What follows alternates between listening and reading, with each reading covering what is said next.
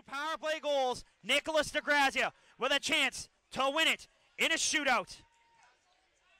If he scores, the game is over. If not, Hearst will have a chance to tie it. Here's DeGrazia with the win streak and the game on the line. He scores!